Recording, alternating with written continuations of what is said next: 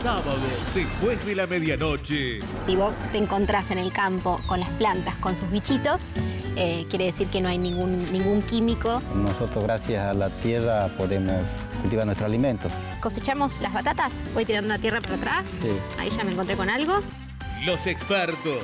Para comer bien, hay que saber. Sábado después de la medianoche, por el 13.